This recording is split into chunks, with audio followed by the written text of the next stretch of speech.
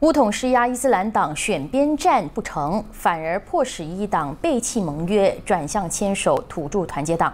眼看施压力度太大，乌伊关系岌岌可危。乌统主席纳杜斯里阿莫扎西如今放软姿态，促请伊党重新回到国民和谐联盟。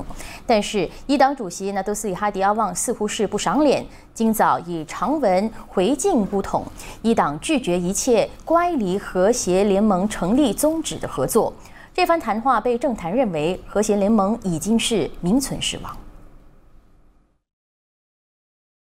哈迪阿旺通过官网发布了一篇将近一千七百个字的文章，不点名反击乌统。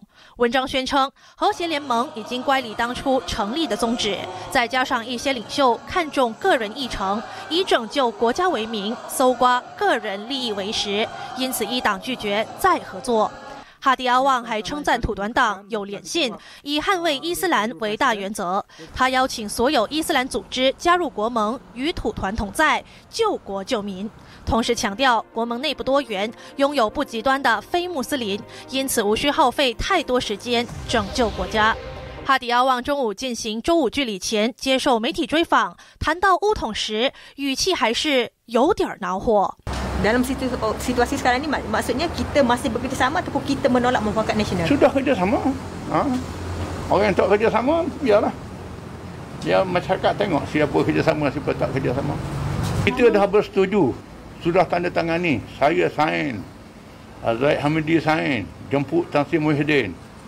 Dalam mufakat nasional. Itu yang perlu dilaksanakan. 阿莫扎西昨晚通过社交媒体发文，以和谐联盟在二零一九年成立以来过程艰辛，但也共同赢下多场补选的记录，动之以情，促请一党回到真正的和谐联盟。他以一党过去和四六精神党合作组成穆斯林团结阵线，最终失败的例子，提醒一党真诚合作的重要性。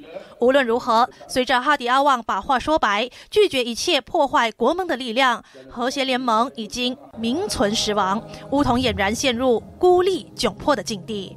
马新社电视综合报道。